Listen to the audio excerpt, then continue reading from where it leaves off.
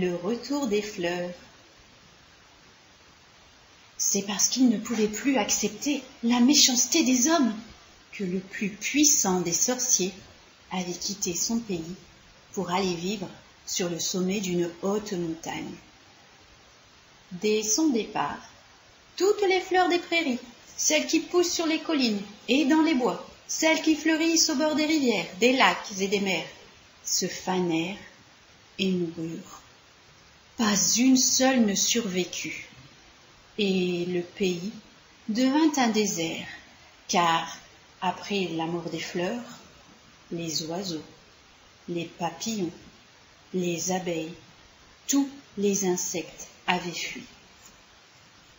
Les plus vieux habitants disaient aux petits enfants la beauté des fleurs et des insectes, mais les enfants ne voulaient pas les croire. Ce ne sont que des histoires, disaient-ils. Seul le fils d'une pauvre veuve croyait qu'il existait encore des fleurs et des insectes.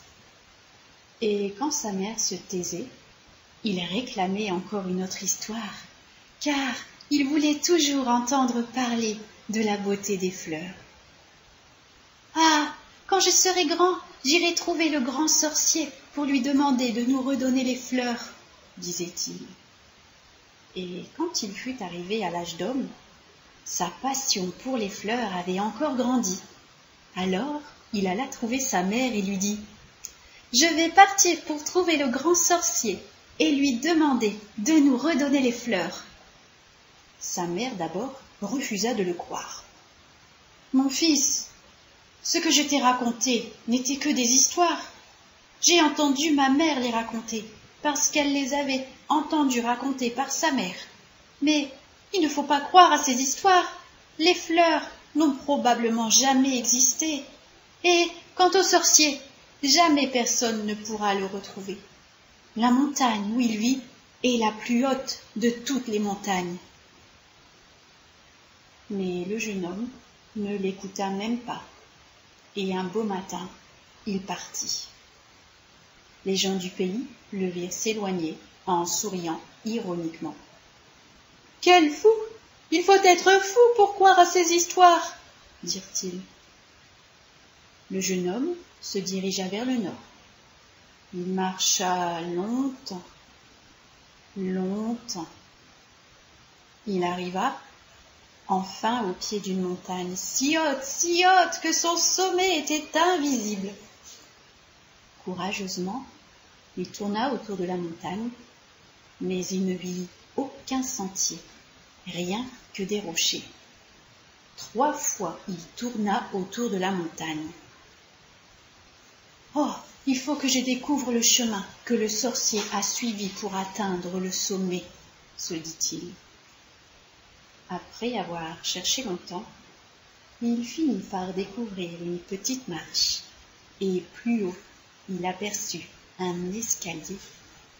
Et il grimpa, grimpa, grimpa sans jamais se retourner pour ne pas avoir le vertige.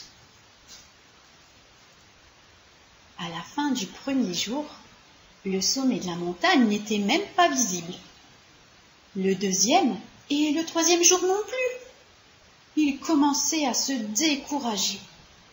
Quand, le quatrième jour, il se rendit compte tout d'un coup que le sommet était tout proche, et à la tombée de la nuit, il réussit à l'atteindre. Près des rochers, il aperçut une source. Assoiffé, il se pencha pour boire un peu d'eau. À peine y avait-il trempé ses lèvres que toute sa fatigue disparut. Il se sentit rafraîchi et plus fort que jamais. À ce moment, il entendit une voix qui lui demandait ce qu'il était venu chercher. Euh, je suis venu pour demander au grand sorcier de nous redonner les fleurs et les insectes. Un pays sans fleurs, sans oiseaux et sans abeilles est triste et sans joie. Je suis sûre que les gens de mon pays cesseraient d'être méchants si, si le sorcier leur redonnait les fleurs.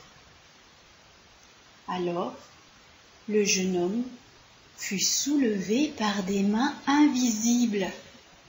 Doucement, il fut porté vers la région des fleurs éternelles, et les mains invisibles le déposèrent sur le sol, au milieu d'un tapis de fleurs de toutes les couleurs.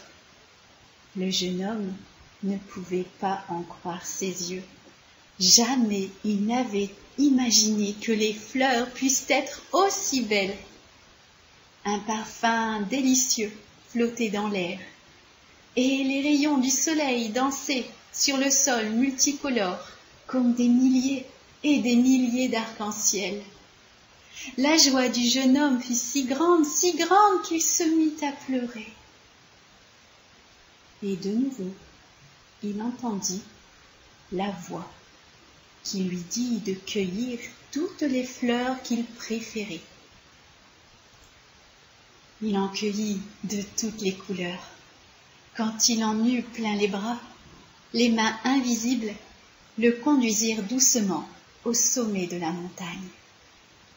Alors la voix lui dit Rapporte ces fleurs dans ton pays, qui désormais, à cause de ta, foi et de ton courage, ne sera plus jamais sans fleurs. Il y en aura pour toutes les régions. Les vents du nord, de l'est, du sud et l'ouest leur apporteront la pluie qui sera leur nourriture et les abeilles vous donneront le miel qu'elles cherchent dans les fleurs. Le jeune homme remercia et commença aussitôt la descente de la montagne qui, malgré la quantité de fleurs qu'il portait, lui parut bien plus facile que la montée. Et quand il revint dans son pays, les habitants en apercevant les fleurs et en respirant leur parfum, ne voulurent pas croire à leur bonheur. Puis, quand ils surent qu'ils ne rêvaient pas, ils dirent Ah nous, savions bien que les fleurs existaient et que ce n'étaient pas des histoires inventées par nos ancêtres. Et leur pays redevint un grand jardin. Sur les collines, dans les vallées, près des rivières, des lacs et de la mer, dans les bois, dans les champs et dans toutes les prairies, les fleurs croissèrent et se multiplièrent. Tantôt, c'était le vent du nord qui amenait la pluie, tantôt le vent du sud, de l'est ou de l'ouest. Les oiseaux revinrent ainsi que les papillons et tous les insectes, et surtout les abeilles. Désormais, les gens purent manger du miel, et la joie revint sur la terre.